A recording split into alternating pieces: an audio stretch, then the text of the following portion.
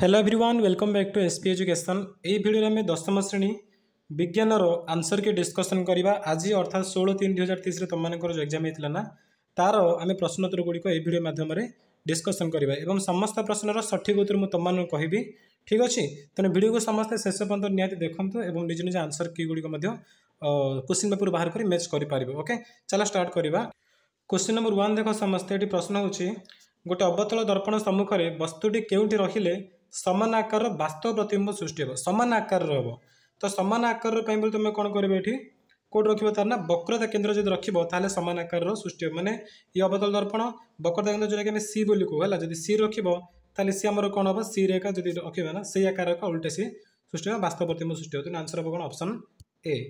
ତାପରେ ବର୍ତ୍ତୁଳକାର ଦର୍ପଣର ପ୍ରତିଫଳନ ପୃଷ୍ଠର ବ୍ୟାସକୁ କ'ଣ କୁହାଯାଏ ପ୍ରତିଫଳନ ପୃଷ୍ଠର ବ୍ୟାସକୁ କୁହାଯାଏ ତା'ର ଦ୍ୱାରକ ତ ଅପସନ୍ ସି ହେଉଛି ଏଠି ଆମର ठीक आंसर ओके तापर नेक्स्ट क्वेश्चन जी तीन नंबर को क्वेश्चन नंबर थ्री देख समस्ते क्यों दर्पण प्रतिफल नियम गुड़िक प्रजुज्य निम्नोक्त क्यों दर्पण प्रतिफलन नियम गुड़िक प्रयुज्य देख पे प्रतिफलन नियम जो अच्छी से दुईटा नियम सब प्रकार दर्पण प्रजुज्य अटे से समतल हो कि अवतल कि उत्तल हो तो आंसर हम कौन उपरोक्त समस्त दर्पण तापर चार नंबर है क्योंटी ठीक नुहे एक्चुअली एटा क्वेश्चन भूल अच्छे तार English sad देखिपुव which of the one of the following is correct मैंने कौटा ठीक बोली से कही ক ঠিক নহেনা एक्चुअली কো ঠিক গলে হব এটা তো আনসার হব অপশন এ মানে 1/d = 1/m এটা হব তোমাদের ঠিক আনসার এটা তোমাদের গ্রেড মার্ক মিলিবো কাইকেনসি ঠিক বদল ঠিক নহয় বলে কই দিছি কাই না এ সব যা আমার ভুল এটা ভুল এটা ভুল এটা ভুল ঠিক আছে আনসার অপশন এ তারপর क्वेश्चन नंबर 5 কেউটি লেন্সৰ সূত্র अटे কেউটি লেন্সৰ সূত্র এটো লেন্স সূত্র কোন পিলা মানে অপশন বি এ যে ঠিক answer 1/v - 1/u = 1/f number 6 দেখিবা ନମ୍ବର ସିକ୍ସ ଦେଖ ଉତ୍ତଳ ଲେନ୍ସରେ ବସ୍ତୁର ସ୍ଥିତି ଫୋକସ୍ ଓ ଆଲୋକ କେନ୍ଦ୍ର ମଧ୍ୟ ରହିଲେ ପ୍ରତିବିମ୍ବର ପ୍ରକୃତି କ'ଣ ହେବ ବସ୍ତୁର ସ୍ଥିତିରେ କେଉଁଠି ନା ଫୋକସ୍ ଏବଂ ଆଲୋକ କେନ୍ଦ୍ର ଭିତରେ ଯଦି ରହିବ ତାହେଲେ ତା ପ୍ରକୃତି କ'ଣ ହେବ ଏଠି ନା ଅପସନ୍ ବି ହେବ ତୁମ ଠିକ୍ ଆନ୍ସର୍ ଆଭାସୀ ଏବଂ କ'ଣ ହେବ ସଳଖ ହେବ ଠିକ୍ ଅଛି ତା ମାନେ କ'ଣ ଏଇଟା ହେଉଛି ଆମର ଉତ୍ତଳ ଲେନ୍ସ ସେ କେଉଁଠି ପକାଇଛି ଆଲୋକ କେନ୍ଦ୍ର ମାନେ ଏଇଟା ହେଲା ଏଇଟା ହେଉଛି ଆଲୋକ କେନ୍ଦ୍ର ଏବଂ ଫୋକସ୍ ମାନେ କେଉଁଠି ଏଠି ଫୋକସ୍ তো এই ভিতরে যদি রহিলা তাহলে সে কোণ হব তার এপট সৃষ্টি হবে এবং সে কোণ আভাসী তা সহ সড়ক হব ঠিক আছে তো আনসার সরি সরি এপট সাইড আসব ঠিক আছে এপট সাইড পড়লে সে বহু বড় হয়ে যাব এবং সে সড়ক হব তো তাকে আমি কোণ বলে কহ আভাসী এবং সড়ক বলে কহ তো আনসার হব অপশন বি তাপরে চক্ষু লেন্স দ্বারা সৃষ্টি হওয়া প্রতিবিম্বর প্রকৃতি কিপর হুয়ে চক্ষু লেন্স দ্বারা যে সৃষ্টি হচ্ছে মুকুরিকারে পড়ছে সেটা কোণটা আমার বাস্তব এবং উল্টা প্রতিবিম্ব এটা আমি কহিলি তোমাকে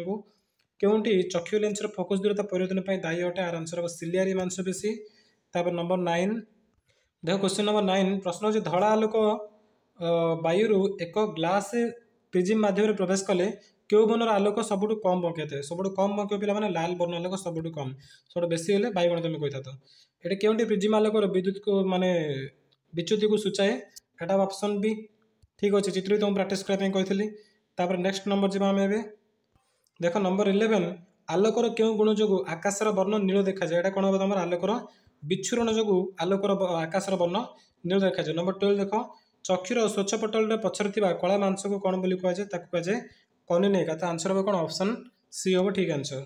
ଏକ ଏମ୍ପିୟର କେତେ ମାଇକ୍ରୋ ଏମ୍ପିୟର ସହିତ ସମାନ ତୁମକୁ କୁହାଯାଇଥିଲା ମାଇକ୍ରୋ ଏମ୍ପିୟର କେତେ ଏମ୍ପିୟର ତୁମେ କହିଥିଲ ଦଶ ହାତ ମାଇନସ୍ ତିନି କିନ୍ତୁ ଏବେ କ'ଣ ତା ଉଲ୍ଟା ହେଇଯିବ ଦଶ ହାତ ତିନି ହେଇଯିବ ତା ଆନ୍ସର କ'ଣ ହେବ ସରି ଭୁଲ କହିଥିଲି ମୁଁ ମାନେ ୱାନ୍ ମାଇକ୍ରୋ ଏମ୍ପିୟର ମାନେ ଏଇଟା ଥିଲା ହେଲା ମାଇକ୍ରୋ ଏମ୍ପିୟର କେତେ ଥିଲା ଦଶ ହାତ ମାଇନସ୍ ଛଅ ଥିଲା एम्पियर था तेणु वन एम्पियर मैंने के दस रात छो छ माइक्रो एम्पियर हो तो ऑप्शन बी हूँ ये ठीक आंसर तापर क्योंटी भोल्टेज को सूचाए ना तुम सूत्र था कौन एच इज इक्वाल टू कौन थी आमर भि आई टी मन पक एच इज कौन थी आमर भि आई टी हेल्ला एच मैंने कौन ये गोटे वार्कड़ा गोटे हेल्ला ये गोटे आम वार्कड़ा तुम कौन खाली भि इज कौन लिखिपर ना एच बै आई टी कर एच मैंने कौन एच हूँ गोटे कार्य जहाँ डबल देदेवा बै आई टी करदे डबल बै आई टी तुम कौन यहाँ ठीक आंसर आउ ଭି ମାନେ କ'ଣ ଭୋଲ୍ଟେଜ୍ ଭୋଲ୍ଟେଜ୍ କ'ଣ ହେବ ଡବ୍ଲ୍ୟୁ ବାଇ ଆଇଟ୍ ହେବ ଠିକ୍ ଆନ୍ସର୍ ତାପରେ ନେକ୍ସଟ ନମ୍ବର ଯିବା ନେକ୍ସଟ କ୍ୱେଶ୍ଚିନ୍ ଦେଖ ଖଣ୍ଡେ ତାରରେ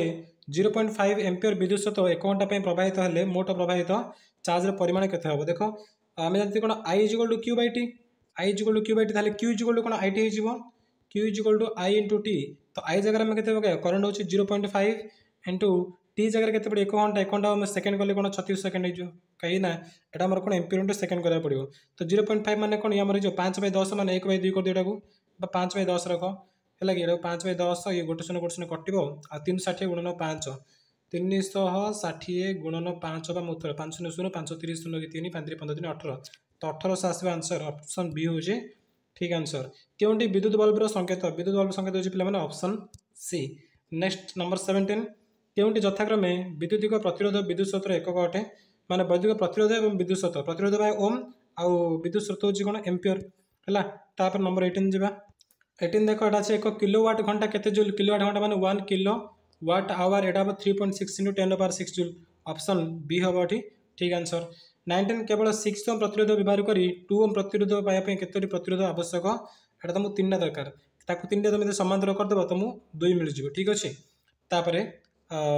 ନେକ୍ସଟ ଦେଖ ଲଘୁପଥନ ହୋଇଥିବା ପରିପଥରେ ବିଦ୍ୟୁତ ପ୍ରବାହ କିପରି ହୋଇଥାଏ ଲଘୁପଥନ ମାନେ ସର୍ଟ ସର୍କିଟ୍ ସେଠି କ'ଣ ବଢ଼ିଯାଉଛି ବିଦ୍ୟୁତର ସ୍ରୋତଟା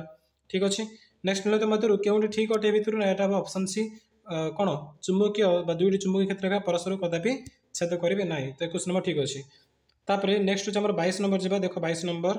ଦକ୍ଷିଣସ୍ଥ ବୃଦ୍ଧାଙ୍ଗୁଳି ନିୟମ ଅନୁସାରେ ବୃଦ୍ଧାଙ୍ଗୁଳି କାହାର ଦିଗକୁ ସୂଚାଏ ଏଠି ବୃଦ୍ଧାଙ୍ଗୁଳିଟା କାହାକୁ ସୂଚାଇବ ପିଲାମାନେ ବିଦ୍ୟୁତ ସ୍ରୋତ ଦିଗକୁ ସେ ସୂଚାଇବ ତାପରେ ବିଦ୍ୟୁତ ବହନ କରୁଥିବା ସଲନଡ଼ର ମଧ୍ୟ ଭାଗରେ ଚୁମ୍ବକୀୟ କ୍ଷେତ୍ରରେଖା ଗୁଡ଼ିକ କିପରି ହୋଇଥାଏ ସରଣ ଭିତରେ ସେ କ'ଣ ନା ଅକ୍ଷ ସହିତ ସମାନ୍ତର ହେବ ତାପରେ ଏକ ବିଦ୍ୟୁତିକ ଚୁମ୍ବକର କୋର୍ ପାଇଁ ସବୁଠାରୁ ଉପଯୁକ୍ତ ପଦାର୍ଥ କ'ଣ ଉପଯୁକ୍ତ ପଦାର୍ଥ ହେଉଛି ନରମ ଲୁହା ତାପରେ ଦେଖ ଭୂତିବିଜ୍ଞାନ ଲାଷ୍ଟ କ୍ୱେଶ୍ଚିନ୍ ଏଇଟା ଅଛି ବିଦ୍ୟୁତ ସହିତ ଉତ୍ପାଦନ ପାଇଁ ବ୍ୟବହୃତ ଉପକରଣକୁ କ'ଣ କୁହାଯାଏ ତାକୁ କୁହାଯାଏ ଜେନେରେଟର ଠିକ୍ ଅଛି ତେବେ ଆମେ ଭୌତିକ ବିଜ୍ଞାନ ପଚାଶଟା ଡିସ୍କସନ୍ କଲେ ନେକ୍ସଟ ଯେଉଁ ଭିଡ଼ିଓ ଆସିବ ସେଠି ତମର ଏକରୁ ପଚାଶ ପର୍ଯ୍ୟନ୍ତ ମାନେ ଭୌତିକ ବିଜ୍ଞାନ ପ୍ଲସ୍ ଜୀବବିଜ୍ଞାନ ସବୁ ମିଶିକି ଆମେ ଡିସ୍କସନ୍ କରିବା ଚାଲ ଭିଡ଼ିଓ ସମାପ୍ତ କରିବା ଥ୍ୟାଙ୍କ ୟୁ